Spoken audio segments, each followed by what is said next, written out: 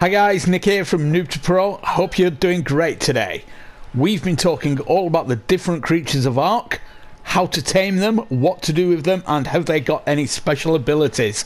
Today, it's all about the Sarco. So, let's go find one. We're looking at the Sarco spawn map for the island, and as you can see, they're not very common, but they do spawn on the beaches and the swamp areas. Okay then, I think we've found one. Now, what we're going to do is keep this guy away from the water. They get far too fast in the water and they, they will kill you if they get you in the water. Also, don't try this in the swamp. Everything in the swamp wants to kill you and it's just going to turn bad for you. So, we're doing it on the beach here. We're quite a distance from him, so we're just going to shoot and back off for, for a while. But as he's getting a bit closer, we're going to adopt the shoot, turn, run, repeat. Now, we'll keep doing that until he is knocked out. Take a few shots. Won't take that many because it's only a level 12, I think it said. So, eh, where's he gone? There he is. Two or three more shots and I think we should have him. Yes, he's on the run already. Great. One more shot should do it then. There we go. He should be out. Let's see. And yes, he's unconscious. Great. So we're going to pop some kibble in there. We're using kibble because it's the most effective way of taming. I don't need all this, so I'll just pop a few in. Have a quick check of the area, as always. Make sure that there's no little critters around. Dilophosaurs, compies, even raptors come along and wreck our tame completely. I don't think there is anything around, so we'll just have a quick look at the stats. We'll play jump up and down on its legs first. Quick look at the stats. We've got 480 there for the health. It's not great, but it's only a low level. We've got 540 stamina, the weight of 306. Now that's probably as low as you're going to get because these guys usually have a good carry weight. It had 105 melee and 100 movement speed. So as I was saying, we are using kibble to tame. You can also use any of the meats. These guys prefer fish over regular raw meat. I will put a list up on screen as to the most efficient to the least efficient for you there. Their saddle is level 35. You make it in your own inventory and you make it out of cementing paste, fibre and hide. Now, it's going to take a while for this guy to even take a bite. It takes a good few minutes, so I'm going to jump forward to when she's tamed out. Okay then, she's just woke up, level 17, yeah, just as we expected. Quick look at the stats. Doesn't look like she got any into the health or the stamina. Weight, it got maybe one level there. Uh, the big winners are the melee damage and movement speed, so that's great. Okay, so we'll get that kibble out and put the meat in for, so she's got something to eat. Then we're going to get a saddle. What? Oh, is that a Dilophosaur I hear there? I think, yeah, right. Okay, I'm just going to leave the Sarco to deal with the the Dilophosaur. And, yeah, she does it no problem. It was only a level 8 anyway. So, we'll pop this saddle on as I was saying, and we'll see what she can do. Now, the first thing I'm going to show you is the stamina and speed. We'll do it on land first. Now, as you can see, this is her sprinting speed, and it's not that fast. And the stamina, you can see the icon in the top corner there, and the top right corner, and it's draining quite fast. When it gets down to the bottom, we'll see in just a moment she's going to slow right down to her walking speed. Should be any time now. And there we go. You can see the status effect in the corner for out of stamina. Then I kept pushing forward there and she got a little bit of stamina sprinted forward again and then stopped. That could cost you quite considerably if you were in a situation. So we'll watch the stamina go back up. It's taking a good few seconds. And that is her skills on land there. Now we'll try her in the water. We'll put her onto her normal swimming speed, which as you can see is quite fast there. Okay, then we'll pop her onto the sprinting speed and you can see she's flying through the water there. Absolutely brilliant. Stamina still going down at about the same rate as it was on land. I think it is the, the exact same rate actually. What's interesting is what happens when she runs out of stamina. I'll keep pressing forward like I did when she was on land, but this time she slows down to her swimming speed, which, as we've just seen, isn't that much slower than the sprinting. It's still quite fast, and the stamina shoots back up and she sprints off again. So once you've got her in the water, she's absolutely brilliant. Great way to get around the waterways of the island.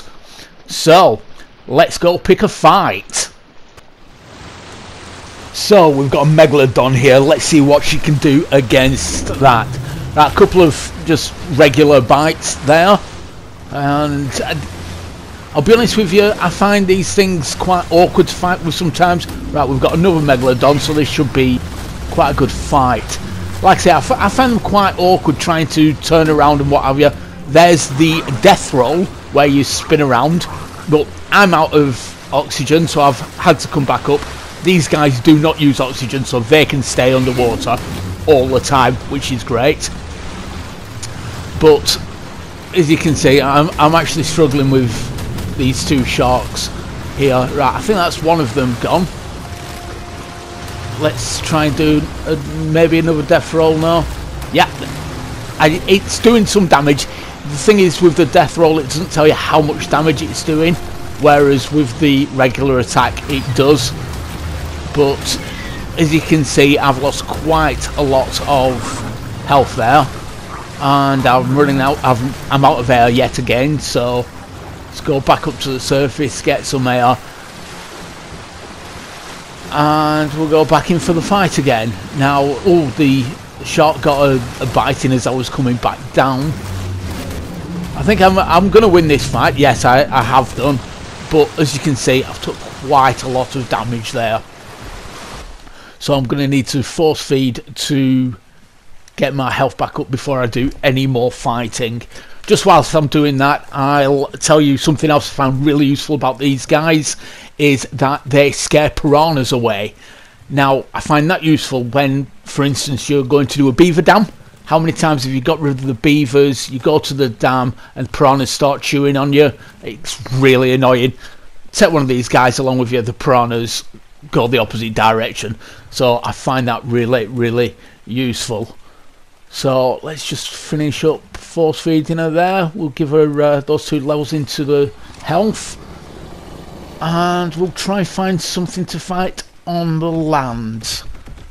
I'll just jump in the water to swim up a little bit. Uh, what have we got there? Right, it's only a parasaur, but I'll show you just a couple of snaps should do it. Oh, if I get them on target, there we go. So, yeah, two, three bites, and that one's dead. Now, was there another one? Was there a try? That right? Okay, we'll use, we'll do, we'll do the death roll on this if we can get it as we said, it doesn't actually show you the amount of damage you're doing, but as you can see, it's destroyed that parasaur straight away. The only thing is, it drains your stamina considerably, and as we've already said, when you're on land, it does take quite a while to go back up. So, got my stamina back up now, and I'm just showing you the death roll on a smaller creature. It actually picks a creature up, spins it round, and destroys it straight away.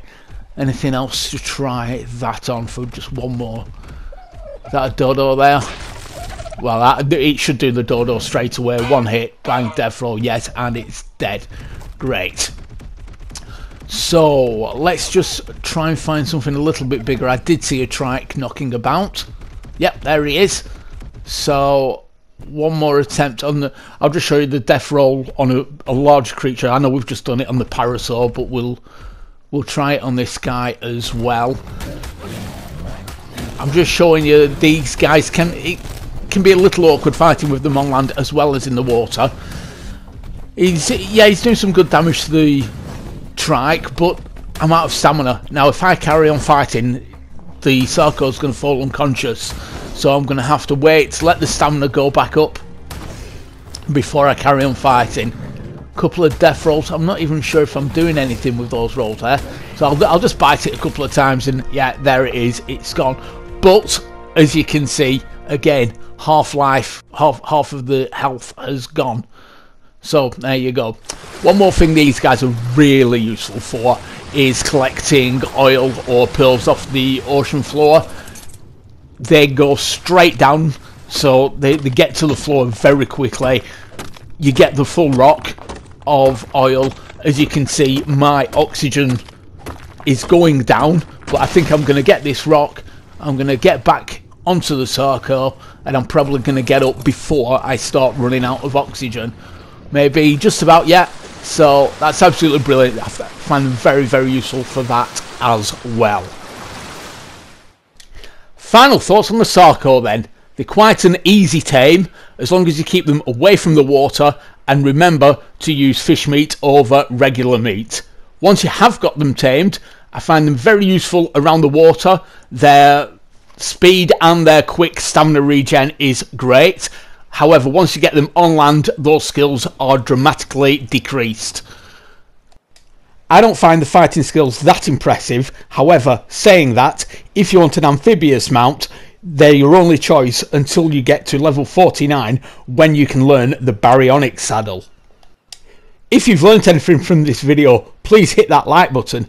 Don't forget to subscribe and turn on notifications so you don't miss any more of our videos like the ones being shown on screen right now. Thanks for watching. Have an amazing day.